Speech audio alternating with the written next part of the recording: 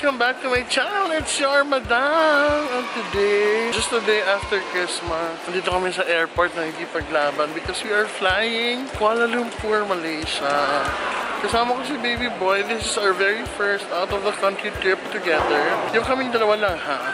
Kasi previously, marami kaming kasama mga friends. But this time, kaming dalawa lang talaga. And we plan to enjoy Malaysia the best way we can. So tignan natin kung saan aabot ang mga paan natin din sa Malaysia. But for now, syempre, the usual, makikipagbakbakan muna kami sa airport stress because there are a lot of people traveling.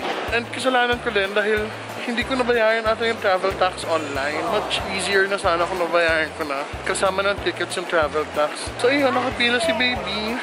Look at that long line. But it's not that bad.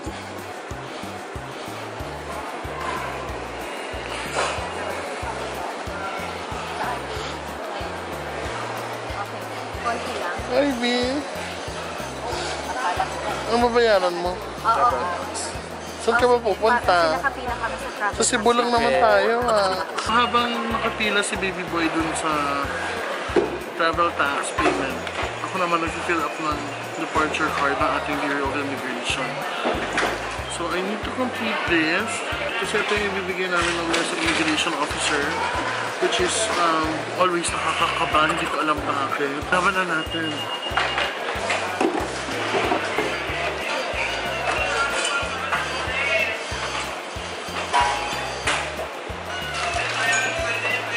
Tama na natin. Tapos ko na fill up ah. So, it's time to face the moment of truth. Charot. Finally, yan, dito na kami sa boarding gate. Baby! So we're just waiting for the boarding. Makakarating na tayo sa Kuala Lumpur, Malaysia! Ha? Hindi ko alam saan tayo gagala. Saan ba maganda naman?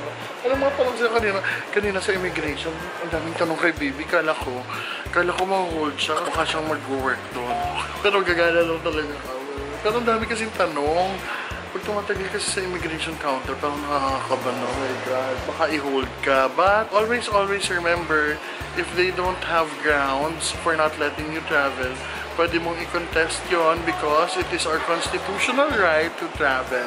Always remember that. Karapatan po natin bilang Pilipino ang makapag-travel abroad. So, usually kasi mga na-hold sa immigration, yun lang talaga yung mga halatang tataka, halatang, alam mo yun, mag-work sa ibang bansa. So, yan. Don't be scared. Ayan na, boarding announcement. Your attention please, are advised to strictly observe the no smoking policy of the Hindi pa. So, yan, kakain ako dahil na ako. I'll see you all later. Pagdating natin sa Kuala Lumpur.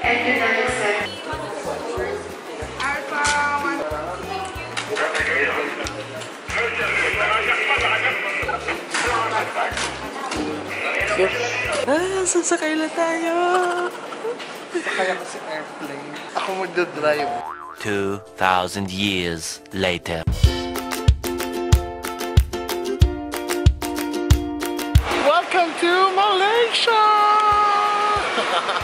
So ayan, nandito na nga tayo sa Malaysia and we're just waiting for our gap. Kakarating lang namin.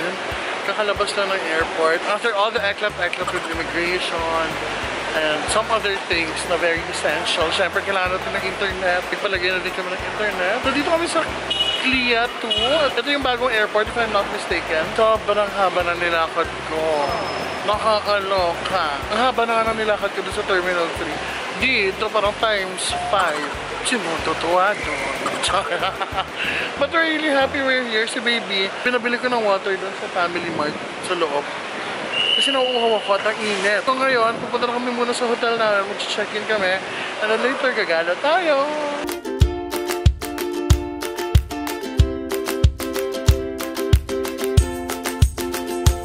Burj Al Arab. Pero ngayon, ito na ata ang tallest building in Southeast. Yung structure nito sobrang ganda. Yung cladding niya is made of stainless steel na paggabi may ilaw siya. Kala mo talaga isang buong silver na nakatayo dyan. Ang ganda.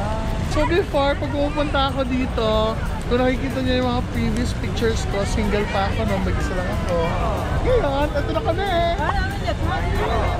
Twin Towers! So ayun na nga, nandito na tayo sa ating hotel. And, ayan, katok tayo. Si Baby siya. So, tara, pasukin natin. Ito yung itsura ng aming hotel. Ang ganda. Nabook ko lang to sa Agoda. Naka-promo to. Four-star hotel ito. Walking distance lang siya sa Petronas Towers. Binook ko siya dahil naka-sale siya sa Agoda. Kaya nilaban ko na ang gundo. Ayan. So, ito yung banyo. Pasok tayo. Wow! Tapos may bathtub kami. Ang para, may pa-bathtub si Mayor. Ayun yung room. So, may blind siya. Pwede mo siyang i-close. Tapos ito, may cabinet. Ay! Ay, may pa-vault si Mayora. May pa-vault. Ayan. So, dito natin ilalagay yung mga mahalagang gamit. Hindi naman siya ganun ka... Hindi naman siya ka talagang sobrang elegante. But look at the bed. Ah, lakas ako, prinsesa. so, ayan si baby. Hinaano na yung mga luggages namin. So, naka, ano kami, dalawang mali. Ilang maleta tayo, pintutan? Set up na kami ng charger. Dahil nasa ibang bansa tayo, guys, may tip lang ako sa inyo. Always carry with you a universal travel adapter. Kasi sa ibang bansa, iba yung kanilang saksakan, hindi pare-parehas. Like for example, dito sa Malaysia, ang saksakan, yung standard na sinusunod nila ay European standard. So yung European, ito siya, yung ganitong itsura. Ayan, iba siya, iba yung saksakan niya. Sa Philippines, iba din yung saksakan. Yung atin naman ata American yung ginagamit natin. So, ayan, ito, papakita ko sa inyo. So, yan yung mga plugs. Yan yung plugs dito sa Malaysia. Magdala kayo ng Universal Travel Adapter. So, ayan, continue tayo sa room tour. So, it's very nice. It's very warm. It's very homey yung kanyang feels. Tapos, meron siyang Diana ba to? Or Cleopatra chair. Basta, it's perfect para mag-relax-relax. Gusto ko sana yung Petronas Towers view, kaso lang, hindi na siya available, wala na. So, ayan, ito yung room na napunta sa amin. But I'm really happy about it because I got it for a very good price. Parang magkano ba ito? Parang 3,000 pesos. Pero 4-star hotel to ah. Ito yung Chorus Hotel sa Jalan Ampang dito sa KLCC. So yung KLCC is yun yung Kuala Lumpur City Center. Yun yung pinaka-sentro ng Kuala Lumpur. Nandun yung Petronas Towers at yung, kumaga yung business district nandun. So, ayan. And tomorrow, lilipat kami sa isang hotel. So, i-room tour ko din kayo doon. Kaya abangan nyo yun. Magkita-kita tayo. Lilipat kami ng hotel tomorrow dahil may isa kaming very special engagement dito sa Malaysia. I'm so excited about it. Pero syempre, yun yung dapat yung abangan. Ito ang aming Malaysia adventure. So, see you! A few moments later. So ayan, pagod na pagod na ako. Wala pa kaming tulog ang aga ng flight namin kanina. Kasi usually pag international, 3 hours before ng flight mo, dapat na sa airport ka na. 8 o'clock yung flight namin, eh mga 5 nandun na kami. True enough nga, kailangan ganun. Kasi ang haba ng pila sa immigration, ang dami-daming eklat, ang dami-daming edsos, oh my God. So matutulog na kami. Maraming maraming salamat sa panonood. We are here now sa Kuala Lumpur. We are safe and sound. Thank God for a safe flight. So mag-enjoy muna kami dito. Magkita-kita ulit tayo bukas. Siyempre, supportahan niyo pa rin ako. Malapit na tayo mag 100k damshies.